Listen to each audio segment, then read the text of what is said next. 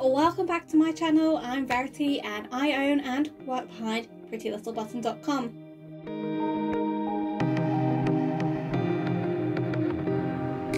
So this video follows on from another one that I've done recently where I'd gone to France and picked up some craft supplies from Action. I'll link to that video here if you've not seen it and you want to check it out. I bought a variety of different products over there at some really, really cheap prices, and I wanted to test them out and see what they were like. Well, in today's video, I'm doing just that. I'm first of all going to have a look at these. These are the coloured pencils that I picked up from Action. They are from a company called DecoTime. They are a Netherlands-based company. I don't have any affiliate with them, I don't have any affiliate links, and I won't be linking to the products because I don't know if you'll be able to get them in the country that you're in, so it's best if you Google them to see whether you can find them. These colour pencils, there are four tins, so we get four different colourways. We get also pencils that can work on dry surfaces, but they also say if you add some watercolour, if you add some water to them, they will also work. So I'm going to test that out today and see how well these work. Another product that I'm going to use today and test out that I showed in the last video is the watercolour metallic paints. Again, these are from DecoTime, so the same company that produced those pencils. I'm also going to be testing them out on both white and colour cardstock to see how well they work, what their intensity is, and it's really, really interesting to see the results. So stay tuned. As I mentioned, I have no links to these companies, so please bear that in mind. These are all of my own opinions and I haven't been paid to make this video. So without further ado, let's get started. So I've got some watercolour card here and I'm just going to decant a little bit of water out into a dish. So I'm going to do some of the coloured pencils first and just first of all I'll do them on watercolour card because they've got a bit of tooth so it's good to get your um, pencils on. Sometimes too smooth a pencil, too smooth a cardstock doesn't always work as well with pencils. Um, so you want a little bit of tooth. Um, and I'm going to take these off completely because I'm not going to keep doing that every time, that will annoy me.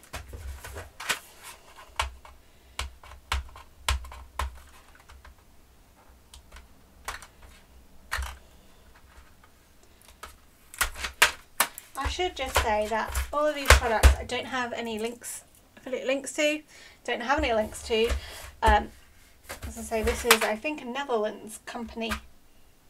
Yep, a Netherlands company. So um, I don't have anything with them you, um, if you're in Europe and you've got an action near you, check them out because you may be able to get these um, and have a go with them.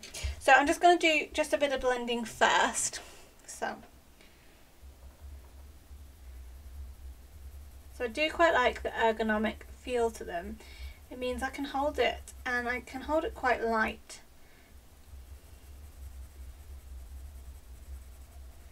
So then just keep applying colour. So I'm just going to then do a bit of a blend. So I've got onto a darker pink.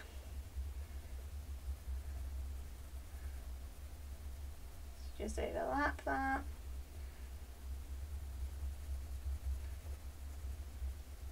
Let's go back with this one. Just to get a good blend and then let's go on with a darker pink.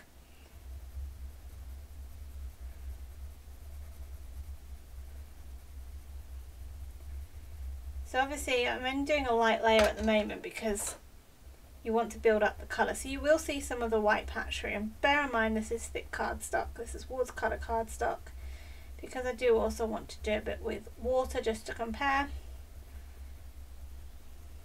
And I'm just building the colours up and overlapping them. Not quite at the burnishing stage yet with the colours.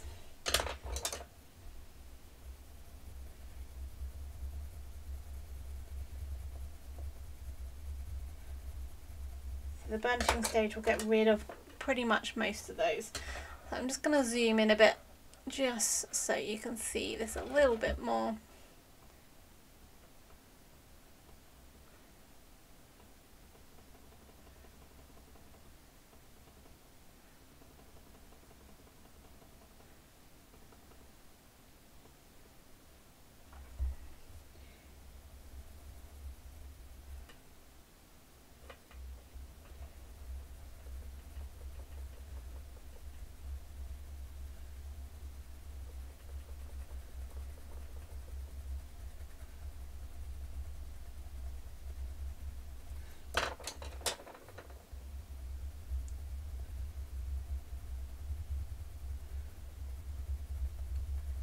A little bit more just going into that one just to then burnish that colour.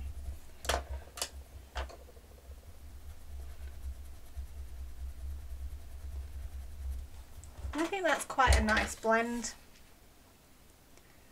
from a dark to a pink and what I'll do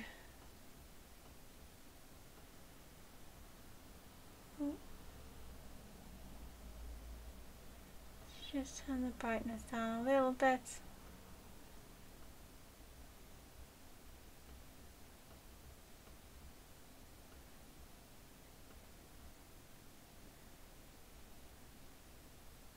What I'm going to do now is I'm just going to do the same but I'm just going to do some of this colour then I'm going to do some of this colour and then I'm going to do some of this colour just a light colour because I'm then going to use a brush. If I can find one. So this is a water brush which has actually got some water in. Just so let's just start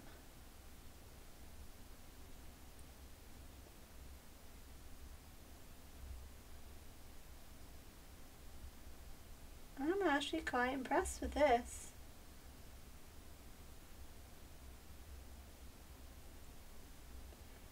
That I'm impressed with.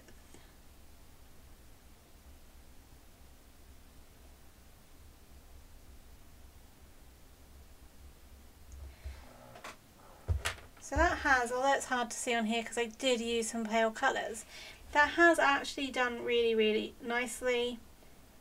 The pencil and the pigment is moving quite nicely. And what I'm going to do is I'm just going to do up here and I'm just going to blend this colour out. So you've got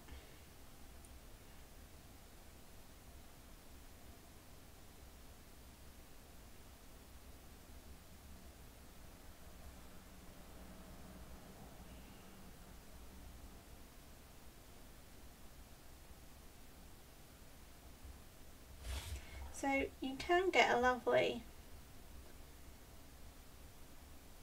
look to that. So yeah, I'm actually very impressed with those pencils for what I paid. That's not bad at all. Uh, there's probably obviously much better quality ones out there that are probably, these probably aren't lightfast or anything like that. But for a hobby crafter that likes to do a bit of dabbling in no line colouring pencil, pencil colouring or they want to then turn their pencil colouring into a water um, colour effect look, then you know you can't go wrong with this for the price that it is. So yeah, I'm really impressed with those. So what I'm also going to now just test out is some of these watercolours. So there are a couple I want to really try colour wise. I really want to try this lavender because I'm just really intrigued by this. I'm also going to use one of the paint, one of the um, watercolour brushes. I'm not going to actually fill it with water at the moment. I've just got some water here that I'm just going to dip in, get a bit of colour on the end and see what it colours out like.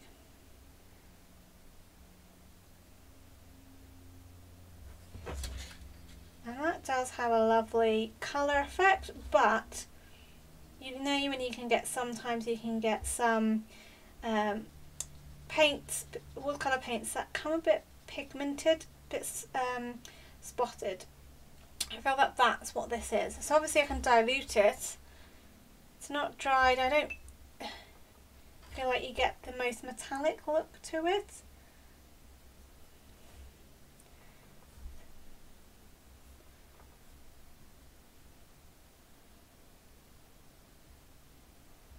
It does look like it's more the colour than the metallic pigment. There is a bit of a shine there, but you do have to layer up this quite a bit. So let me just see if I've got a bit of dark cardstock that I could use. So I've got a piece of dark purple cardstock here.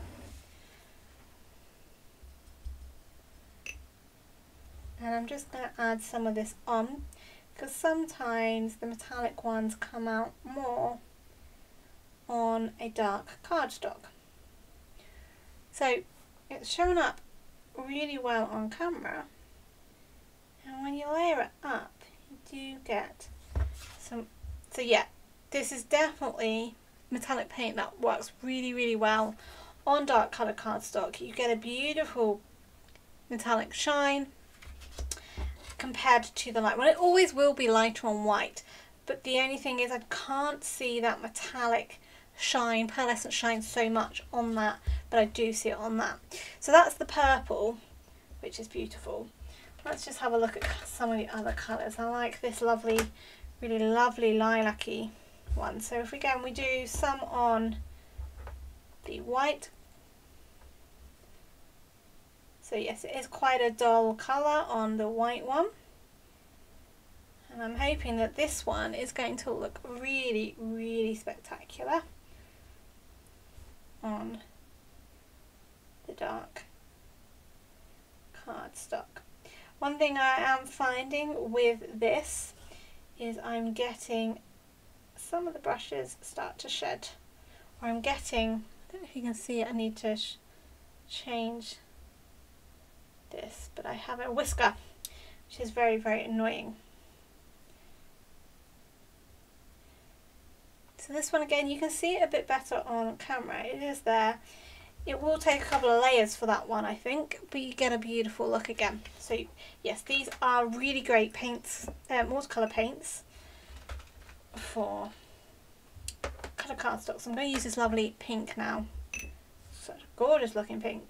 I don't think I've got any metallic colours that are that colour. Really vibrant. So yeah, it's obviously you're getting that watercolour look, that muted colour down on the white one. You can see the pearlescence, certainly with the, the white one, the, the pale lilac that we've dried now, I can really see the metallic in that on there, so it does give that look. It's really, really nice. So you do need to give these a chance, I think, to dry as well and see what they're like.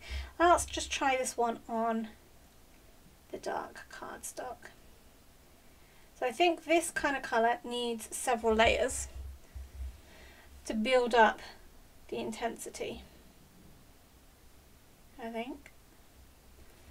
So we'll just leave that for the time being because I want to try some of in these beautiful, beautiful teal and blue ones.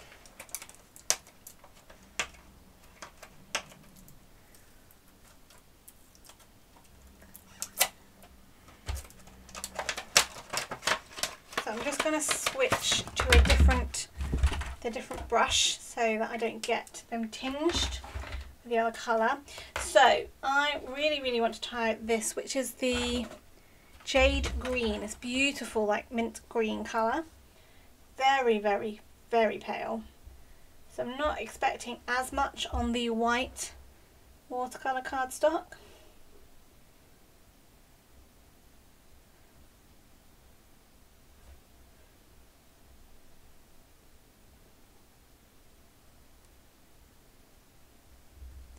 And you can, it's it's got quite a lovely pearlescent metallic shine to it on this one, which you can sort of see in the camera if I tilt it up and side. So as you can see, the paler ones on the dark colour card, on the, on the white colour cardstock, have more of a pearlescence and metallic look to them than the darker rich colours. That one's got a bit more, I think I laid it more than this one did. The, the pink one doesn't so much have so much of a shine. So let's just try this one out on dark colour cardstock. Oh, this one shows up really nicely.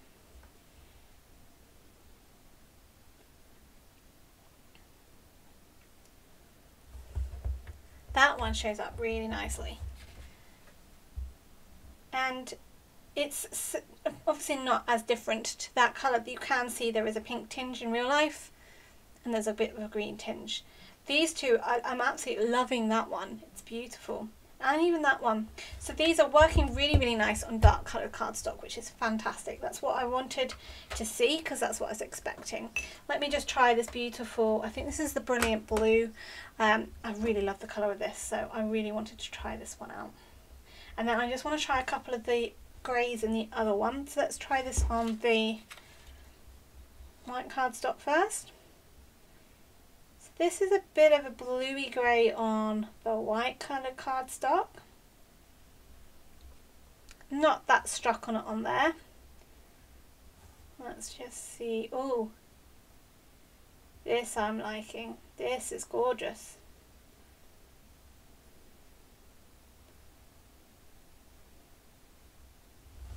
So look at that. Oh, I love that. That is stunning. Beautiful colour.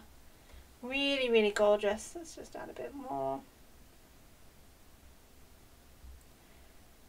Yes, absolutely love these. These are well worth the money.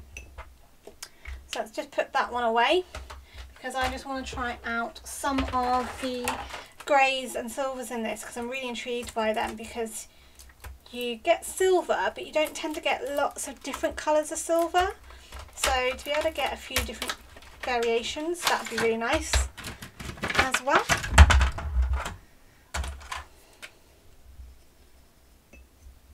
I've got a lovely pearlescence in my water now. So we have, so this is, we have cool grey, that's cool grey 5, cool grey 9 and black so let's try the Cool Grey 5 first. So this is more like a traditional looking silver. Let's try that one. So obviously watercolour metallics are going to be quite um, translucent. They're not opaque necessarily. And let's just try it on here. Wow, that is a really great silver.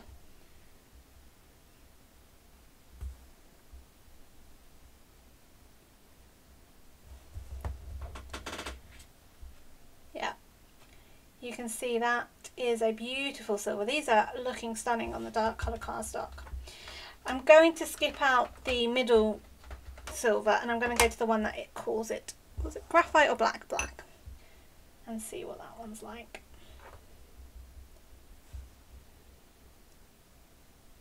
It's very, it's the strongest probably out of all the ones we've done, but as you'd expect it, it's black, it's going to be the darkest tone. We'll see what that dries like as to whether it becomes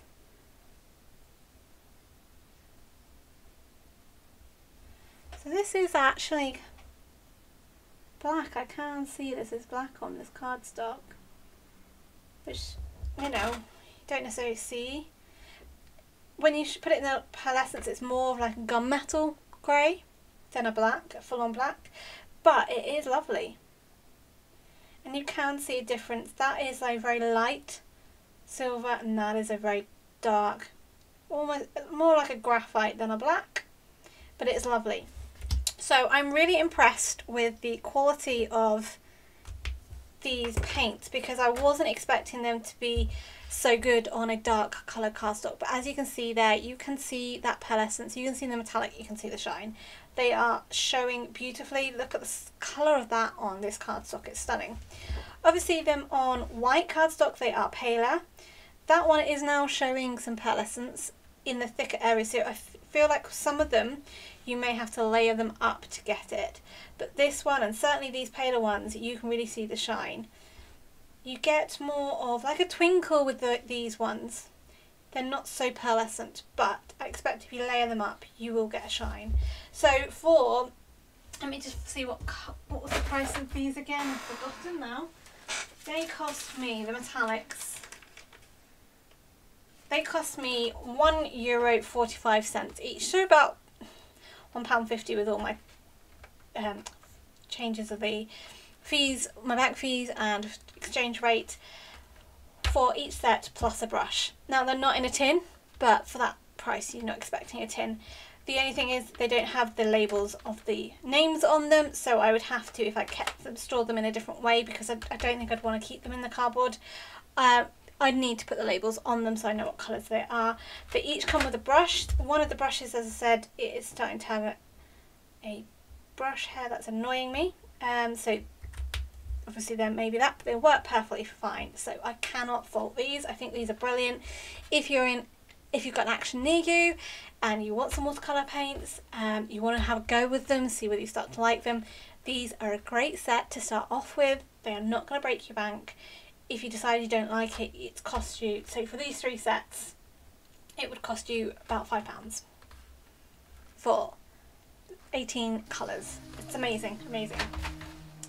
I hope you enjoyed today's video and you were as impressed and surprised as I was. I'm really, really looking forward to using some of these products, especially as watercolour paints in future craft projects. So make sure you keep an eye out for those in my videos. If you're new to my channel, why not think about subscribing? Of course, you can hit that bell icon and you'll be notified when my next video is up. If you're wanting to keep an eye on my blog posts, why not also sign up to my email subscribe list? You'll find a link of that on my blog and I'll link to my blog down below. Make sure you stay tuned as I will bring out the final third video of part of this France crafty haul of testing out some of these products that I brought. Until next time, happy crafting!